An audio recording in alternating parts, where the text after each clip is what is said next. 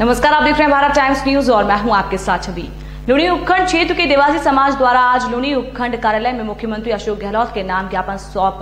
जालौर के पथेड़ी गाँव में दुष्कर्म के आरोपियों को फांसी दिलाने और इस केस की सुनवाई फास्ट ट्रैक कोर्ट से करवाने की मांग रखी।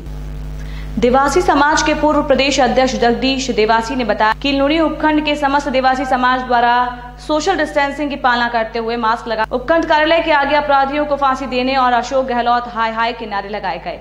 समाज के सभी लोगों द्वारा दो मिनट का मौन भी रखा गया है। अध्यक्ष ने कहा कि समाज में ऐसे दुष्कर्म करने वाले दरिंदों भेड़ियों की कोई जगह नहीं होनी चाहिए। ये मानवता को शर्मसार करने वाले हैं।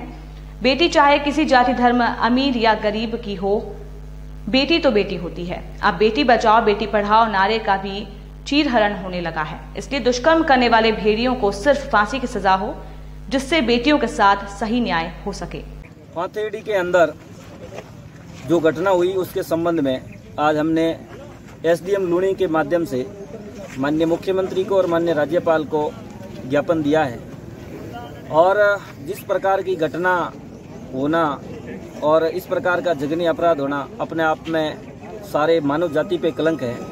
और हमारी तरफ़ से ये समाज की तरफ़ से डिमांड थी कि ऐसे जो लोग हैं, उनको फांसी की सजा हो और ये जो मामला है, ये फास्ट ट्रैक कोर्ट के अंदर चल करके और तुरंत उस बेटी को न्याय मिले ऐसी हमारी मांग थी और हम सब लोगों ने आज ज्ञापन दिया